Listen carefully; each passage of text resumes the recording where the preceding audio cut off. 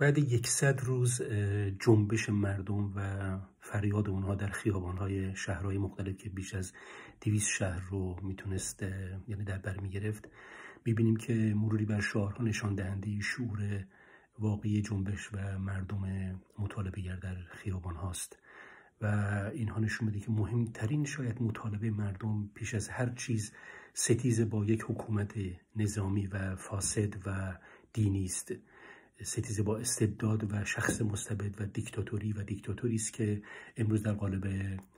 به صلاح حاکمیت دینی است و روزهای پیش از این یا سالهای پیش از این در قالب حکومت به صلاح پادشاهی بوده و این استبداد ستیزی مهمترین دستاورد این جنبش است که در صدر مطالبات مردم هم قرار داره و علاوه بر این در بطن این شعار مرکزی میشه گفت که ساختارهای دموکراتیک و فضا یا حکومت دموکراتیک در جامعه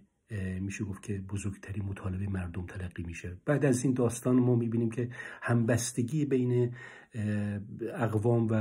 اقلیت ها به تعبیری که تعبیری خیلی صحیح هم نیست ولی اقوام مختلف در کشور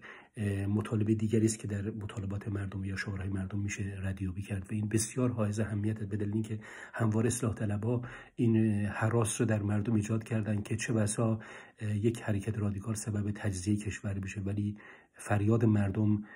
کاملا خلاف و این شهادت و خلاف این به دایی است و اینها بسیار مبارکه. طبیعی است که زن زندگی آزادی و حقوق زن به یه معنای کلی نه مشخصا در جزئیات اون از فاکتورهای دیگری است که مردم مطالبه می‌کنن در خیابانها و طبعا